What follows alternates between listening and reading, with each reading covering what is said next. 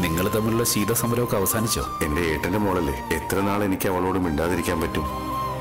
ഇത് ചന്ദ്രന്റെ പുനർജന്മമാണ്. വൈകിയാണെങ്കിലും ഞാൻ ആഗ്രഹിച്ച സംഗീത ലോകത്ത് തന്നെ തിരിച്ചെത്തിയ പുതിയൊരു ചന്ദ്രശേഖരൻ. വലിയ പാട്ടുകാരനായിന്നോ? മംഗലത്തുകാവിലെ മണ്ഡപത്തിൽ പാടിയെന്ന് കരുതി നാട് മുഴുവൻ അറിയുന്ന ഒരു പ്രശസ്തനായിന്നൊന്ന് നിങ്ങൾ ധരിക്കണ്ട.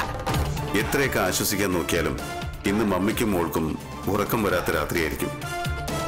അതുകൊണ്ട് നല്ലൊരു കാളരാത്രി ആശംസിക്കുന്നു.